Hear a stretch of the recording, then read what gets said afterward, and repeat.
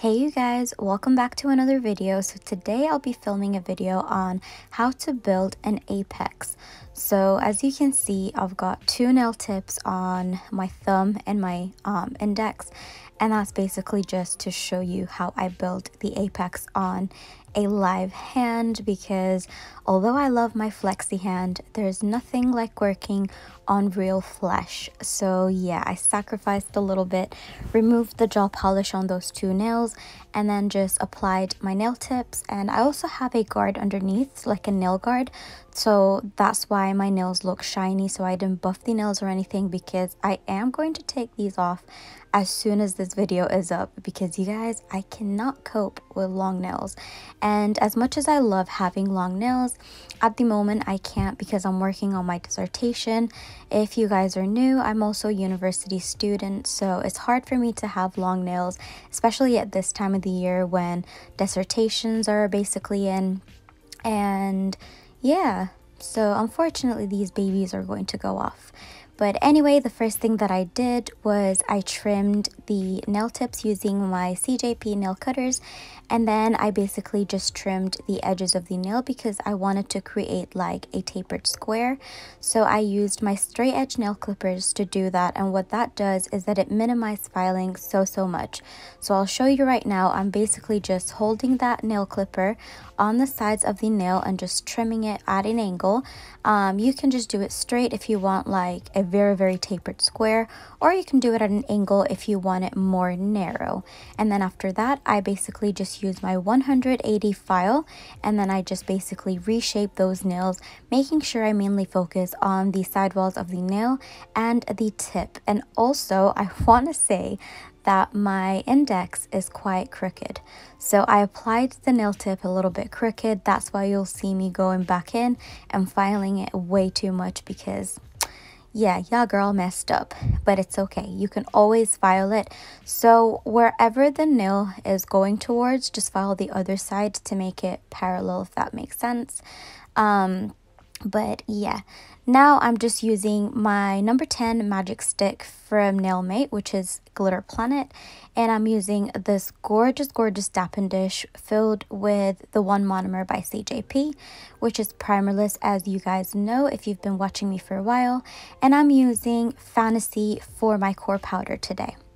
So what I did was I basically just grabbed a medium-ish bead and placed that on the middle of the nail, dragging it right at the tip, making sure I don't press too hard because you still want to keep a little bit of that bulk at the tip because if you have a very, very um, thin tip, it will break dead easily. So with this nail, so on the thumb, I will be doing the three ball method and I will be explaining to you guys what method I like the most.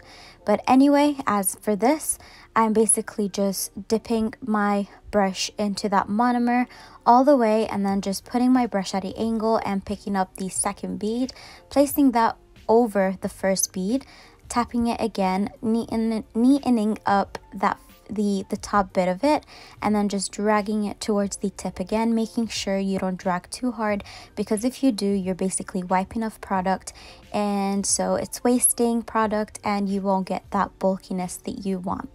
Um, now you see me basically just brushing that um, that nail, making sure I neaten up that bead, uh, making sure also that I wipe the sides of the nail just so I don't disturb the shape. And then once that's done, I pick up the third bead, which is I, I basically did it slightly smaller and then just applying that closer to the cuticle, pushing it towards that cuticle using this brush. And I really, really love this brush because it's got like a pointy bit at the tip, which basically helps you manipulate that product a lot better. And then again, I'm just brushing down that product, making sure I don't brush too hard.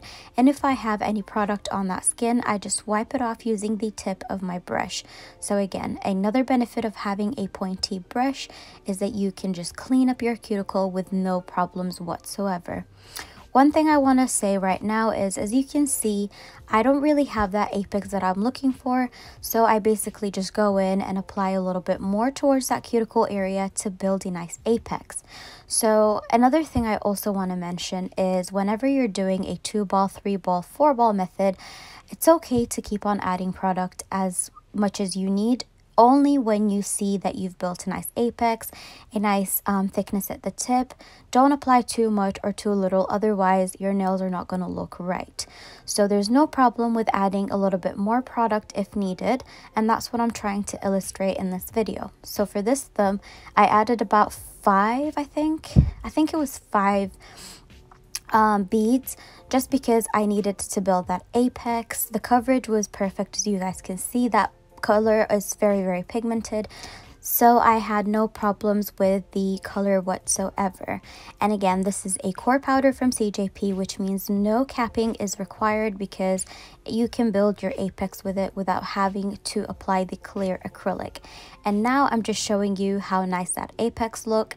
And the apex basically is the highest point on your nail. You want to make sure you build that appropriately, otherwise your nails are more likely to break. Anyway, for the um, index, I'm basically just picking up a bigger bead this time. And I'm going to be doing the two ball method, which is the method that I prefer. So what I do first is I basically just place that bead very, very close to the cuticle area.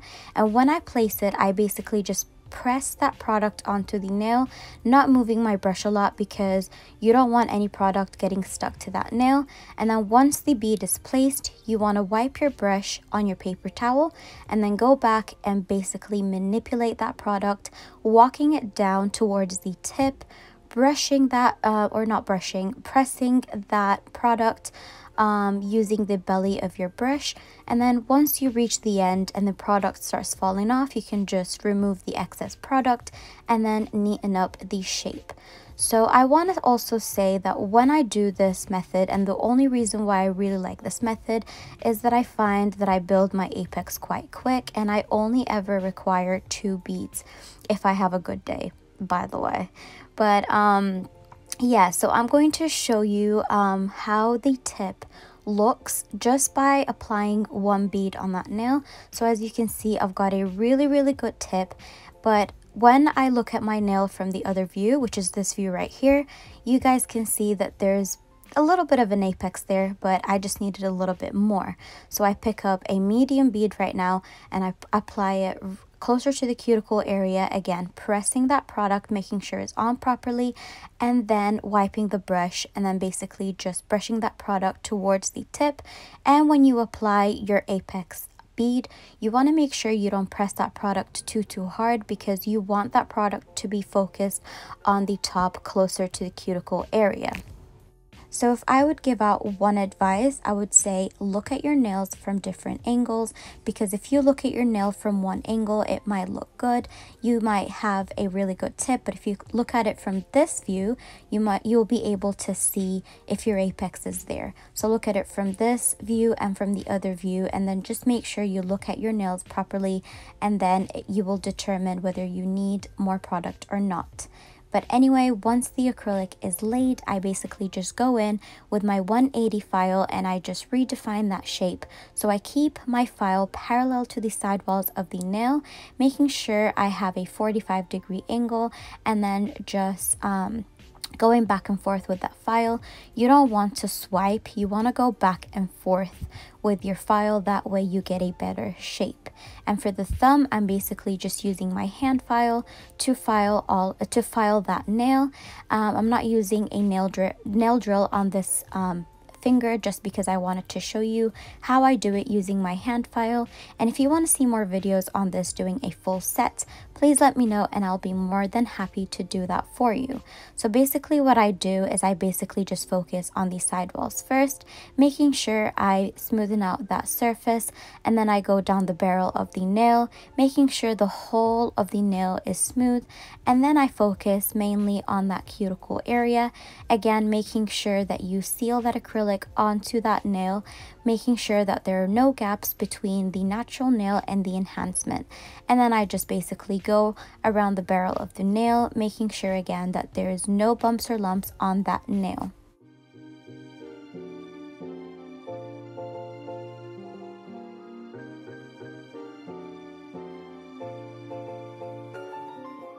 So this is what the thumb looks like once I filed. As you can see, I still have a little bit of um, that product sticking out a little bit. So what I want to do is go back in with my file trying to seal that acrylic onto the nail. You don't want to have any gaps over there because if you do, you are more likely to get lifting. But anyway, after that, I basically just go back and reshape my nails, making sure that I have a very, very crisp shape. And then I move on to my index. So again, reshaping that nail, making sure I focus on the sidewalls and the tip. And this was the crooked nail tip. So I do a little bit more work on this and then I will come back to file the nail.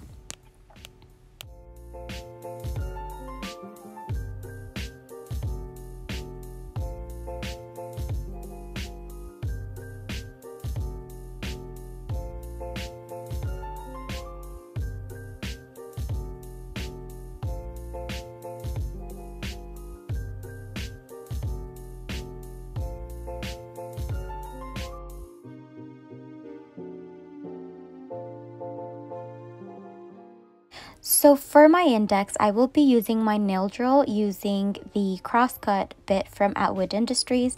And this is just a diamond bit that works like um, a sanding band.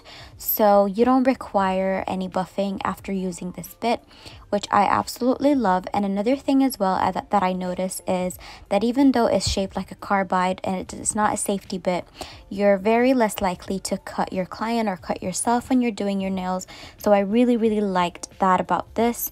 Um, so basically what I'm doing is I'm doing the same thing as I did on the thumb making sure I smoothen out the surface of that nail, focusing on the entirety of the nail, the sidewalls of the nail, and sometimes I also place that nail drill underneath the nail to get a nice C curve. And also if you have any product there or you have a bulky nail, you can just, you know, reduce that bulkiness applying that drill bit underneath your nail tip. But anyway, also you want to focus on sealing that acrylic onto the nail. So as you see me doing now, I'm tucking that, you know, drill in between my cuticle and the enhancement, making sure I smoothen out and thin out the cuticle area or the cuticle um, bit that has the acrylic. So you want to make sure that you see a gap, you don't see a gap, sorry, between the um, natural nail and the acrylic you want it to be completely sealed because again if you leave a gap you will um, get lifting somehow. So again you want to go over that uh, cuticle area making sure you seal that acrylic onto the nail So once I filed the nails, I'm basically just showing you the structure of the nail. So you can see that apex right in the middle, closer to that cuticle area, which is also called your stress area. And if I place that cuticle um, pusher parallel to the nail on top of it, you'll be able to see that it kind of like curves somehow. So you will be able to see the highest point of the nail.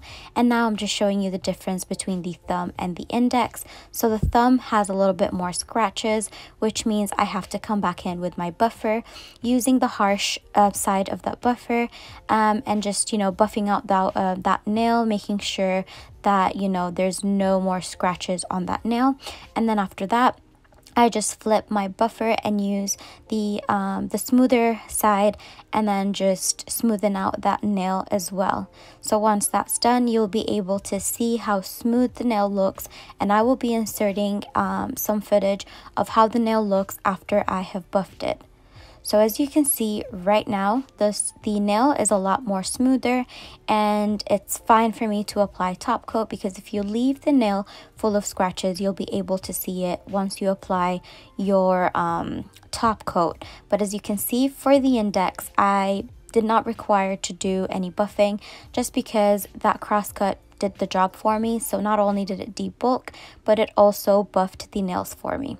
But anyway, once that is done, I go in to wipe all the nails with an alcohol wipe, making sure you don't have any powder on that nail because if you do, then it's going to show when you apply your top coat.